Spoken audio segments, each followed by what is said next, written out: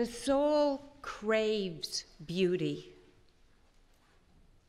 yet our world languishes in ugliness. Why?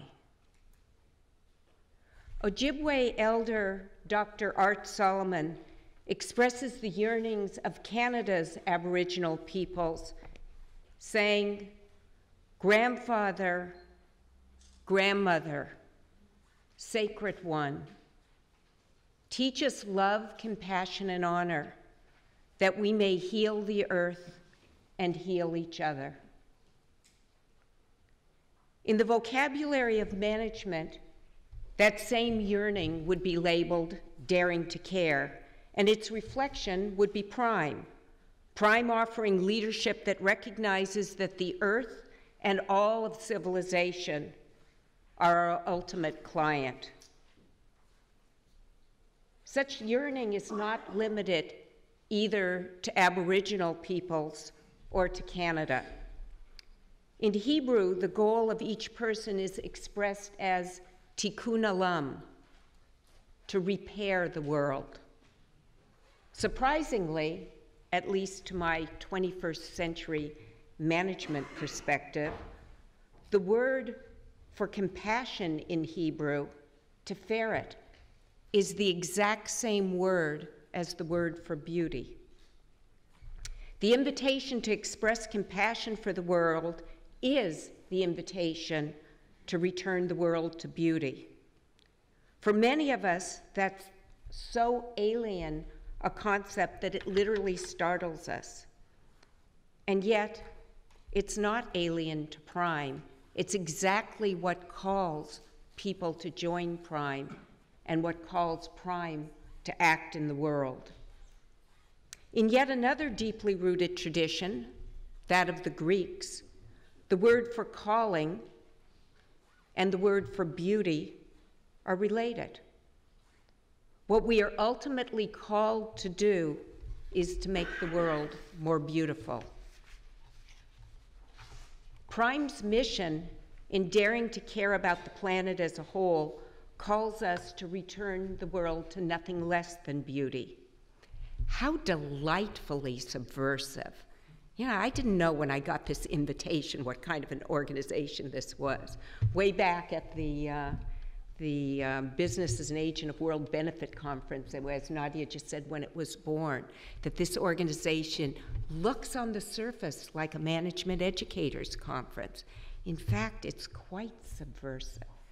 It's profoundly subversive in all the best ways. The soul craves beauty yet our world languishes in ugliness.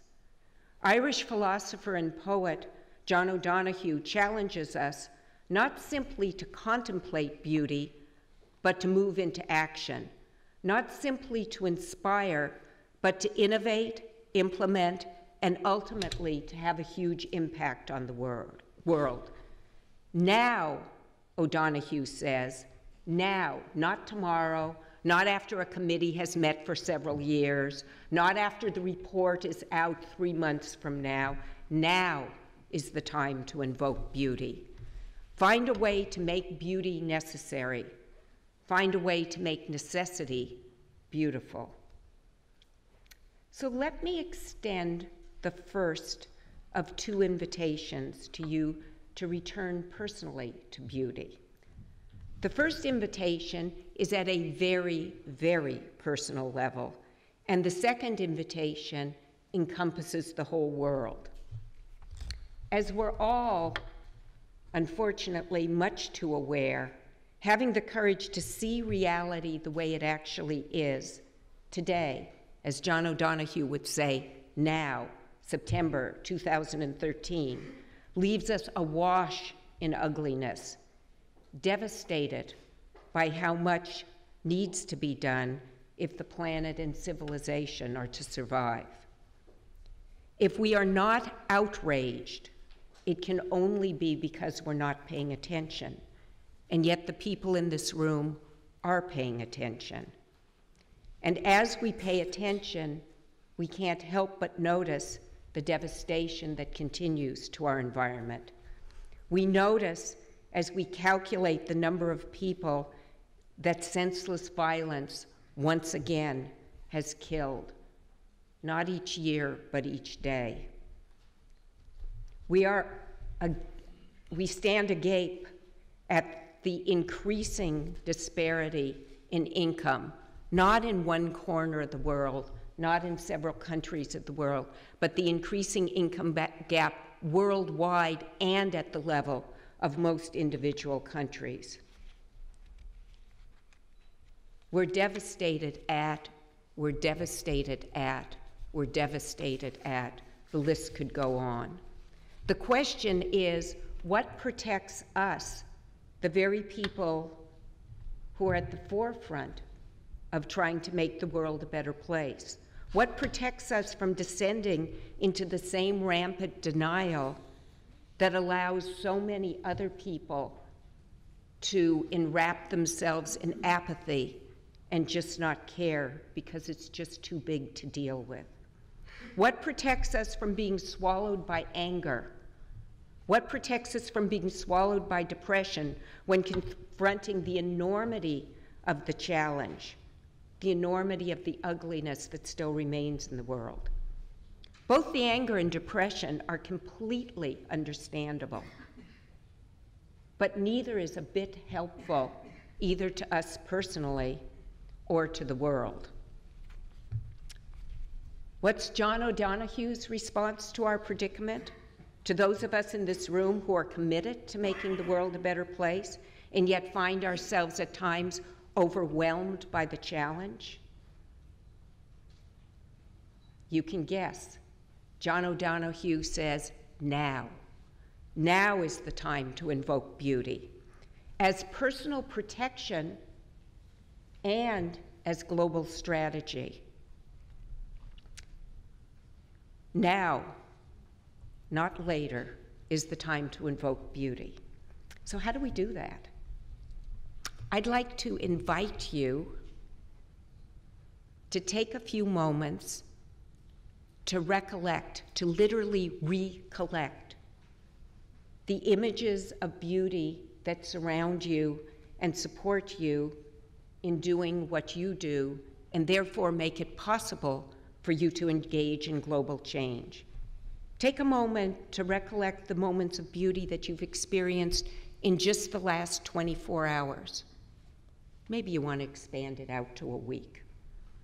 It may be something that you saw, that you heard, that you smelled, that you tasted, or that you touched. It may be a glimpse of the thousand year old castle that looks over Lake Bled that you gave yourself the privilege to let your eyes linger over as you came to the festival hall for this very meeting instead of racing on to yet another meeting, yet another responsibility, yet another report, yet another project. It may be an idea that you heard from one of your PRME colleagues, or it may be a random act of kindness from a complete stranger. Very motivated, generous people, like the people in this room, often focus so much on what they can do for other people and what they can do for the world that they forget to turn that same care, compassion, and generosity towards themselves. So I want you to recollect the beauty, to enwrap yourself in the beauty that's already there. But I want to make that easy because as you think about the beauty of the last 24 hours, the beauty maybe of the last week, I'd like to offer you an accompaniment. And that accompaniment will be offered in the form of the Baroque beauty of Scarlatti's sonata, of Ravel's, the beauty of Ravel's music in the form of Les Jeux d'eau, played by world renowned pianist from Australia, Diana Baker, and surrounded by a collection of paintings that were inspired not by the ugliness of the world, by, but by what's most beautiful in the world. The invitation to beauty is therefore an invitation to inoculate yourself against the per- personal devastation that can come as a consequence of having the courage to have your eyes wide open and notice what's going on in the world. Diana?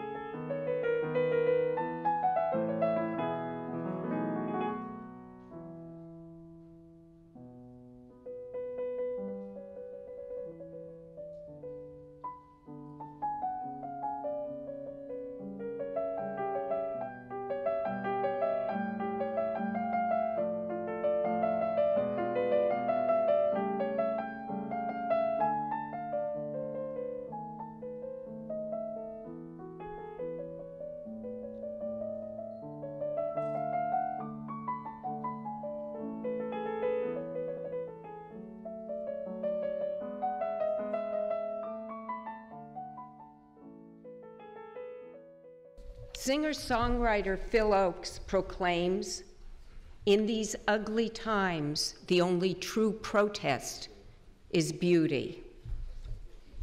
Is that not what PRME's strategies and tactics are about? The only true protest is beauty. The very strategies being discussed at this conference. The aim isn't simply to reduce ugliness. Less bad is never good. It's to invoke beauty, to fix the world, to make the world a more beautiful place. So, my second of my two invitations to you to return to beauty is not at the personal level, but at the world level. And I invite you to ask yourself two questions What is the beauty that you really want for the world? And what is the beauty that you really want to create in the world? And forget for the moment that you may not know how to get from here to your aspiration. That's what the rest of the conference is about. That's what the regional meetings are about. That's what the chapters are about. Now is the moment to let beauty return you to your highest aspirations for the world. What is the beauty you really want to see in the world? What is the beauty you personally really want to bring to the world? That reflection will also be accompanied, um, but this time by Chopin with wonderful Diana playing, with the paintings supporting um, you reimagining the best of what you yearn for in the world. And as you listen to Chopin's Nocturne, I want you to think for a moment about where Chopin was in his life when he wrote this very beautiful nocturne that you're about to hear. He was on his deathbed, and he certainly had the courage to confront death with beauty. What is the beauty you want to see in the world? What is the beauty you want to bring to the world? Diana?